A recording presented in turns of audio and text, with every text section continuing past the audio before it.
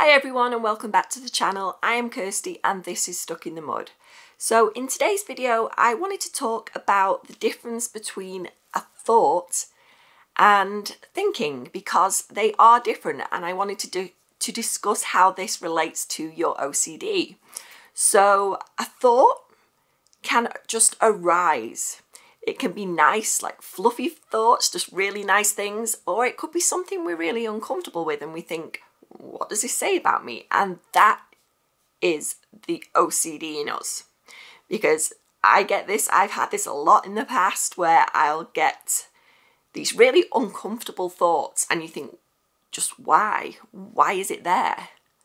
So that is where the OCD comes in because OCD does not like these uncomfortable thoughts because it wants to work out why they're there. So OCD wants to keep us stuck and trapped in the cycle of trying to establish why we're having this intrusive thought. Why did this just arise there in my mind?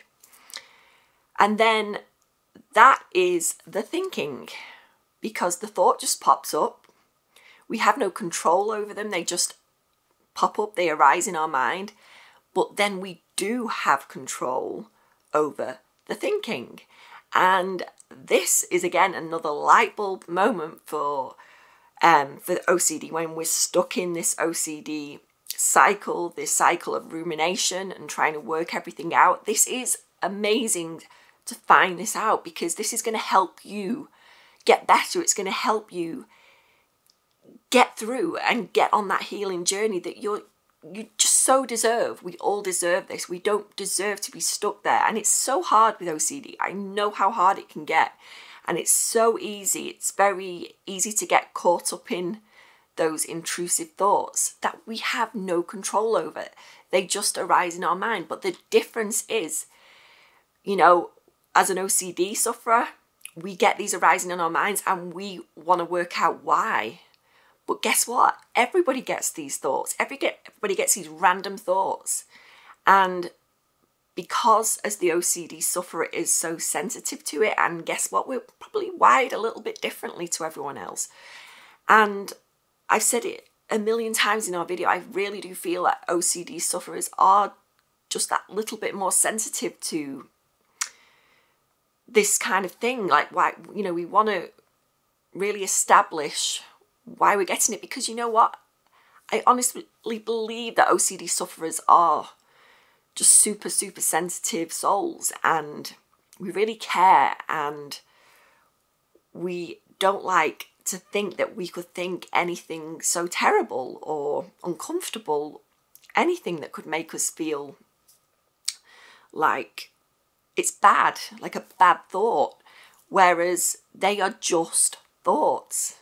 But there we have the thought, the intrusive, uncomfortable thought, and then we have the thinking about the thought, and that is where we can make a difference and we can move forward and say, you know what, that was just a thought.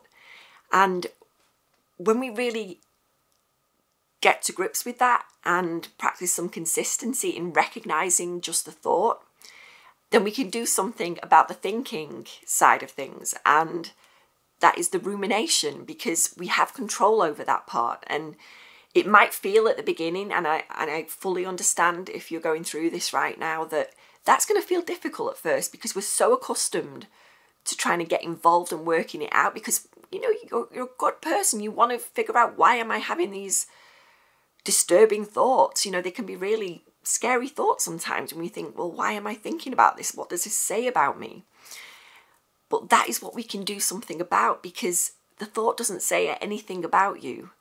We get random thoughts arising in our minds, and because we're super sensitive to this information that's out there in the world, we're going to latch onto it when we suffer from OCD because we want to exonerate ourselves from any anything to do with this thought because it's just so against everything we are as a person. But that's how OCD keeps you there. It wants to keep you thinking, it wants to keep you ruminating and trying to establish that, you know, that that's not anything to do with you. But that's a problem. And we do get stuck there time and time again, I've been stuck there over the years. 40 years I've been dealing with obsessive compulsive disorder and and I really feel I can make a difference to you that's maybe listening to this now because I know what works for this.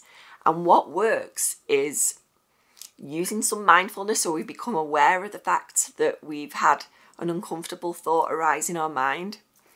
And then we can have some control over the thinking side of things and the rumination because we can recognize it's just a thought and they are just thoughts that arise in our mind in our consciousness that you know we we're, we're in the world we're gathering information and experiences around us. The media today it's everywhere on our tablets you know. It's everywhere on the TVs it's just we're consumed by it and we pick up a lot of different information and they can just randomly crop up in our mind and we can really want to try and figure out it and work it out. Why am I having this? Why am I having this random thought, this uncomfortable thought, scary thought? They can be really, they can be really, really frightening, some of these thoughts. I know because I've had many of them. And that is where we can make that difference. We can recognize it's just a thought through our awareness. We can go, right, that's just a thought. And then we can say, I'm not going to do anything with it. I'm going to let it be there. And it can do whatever it wants. It can try. You know, we, I think we can acknowledge when we have those, that internal that internal voice where it's like, well, why am I having this? Question mark. What does it say about me? Question mark. So the thought can arise that we have no control over, and then the thinking, which we do have control over, we can let those questions that arise around the thought be there. Let them be there, do whatever they want for as long as they want. And we have to practice patience with this because it can take some take some time to to get to grips with all of this and the consistency of practicing this as well. And we have to really be gentle with ourselves and you know and practice that self-compassion that we deserve because it's tough. It's really hard and it's it sounds so simple all of this. Like just let the thought be there. How can i let it be there? You know i can hear people saying that to me because i was one of those people in the past. Like how can i just let the thought be there? How can I be okay with a thought just arising? But they are just thoughts. They're not attached to you whatsoever. They just arise in our consciousness and say nothing about you. I really hope this has helped you today to establish the difference there. And let me know in the comments how you've been getting along with this. And I really hope this gets you back on track and along with your recovery, especially now at the start of 2024, we're going to do things differently. We are going to recognize that it's just a thought, it says nothing about us, and we're going to have as least involvement with it as possible. And that is with the thinking, we have as least involvement as possible. We're not going to answer OCD's questions because that's that's all it wants to do is wants to keep us stuck. And we're not going to let it keep us there. We deserve more than that. We deserve to get our lives back from OCD.